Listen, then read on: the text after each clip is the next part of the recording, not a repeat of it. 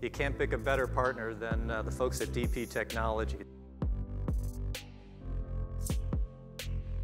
All the classes were presented well, and the best aspect of it was the files that we got to retain and take with us for reference at a later point.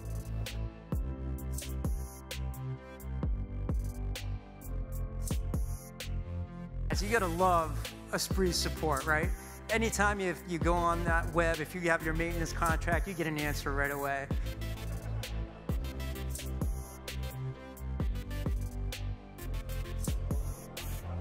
To this event, we brought our collaborative robot cell. So it's the CR4 robot, and we call it a lanyard cell. So it gives away lanyards to participants at the show, uh, lets everybody see what a collaborative robot is. We believe that uh, Esprit is a really powerful tool.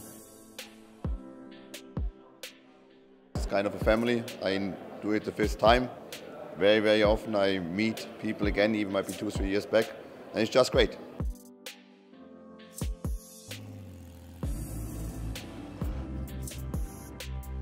I'm meeting a lot of great people and learning a lot of neat things. The automation is going to make their job easier, of course. Automation is the thing. We must automate, we have to automate. Changes are coming, we got to be ready, we got to be the best. We generated a lot of pretty cool interest and got some good feedback from a lot of Esprit users that never thought that they would be able to do any type of simulation, um, and now they now they have access to it. We have a very strong commitment to you to deliver value to you each year as we grow together with your business and our business.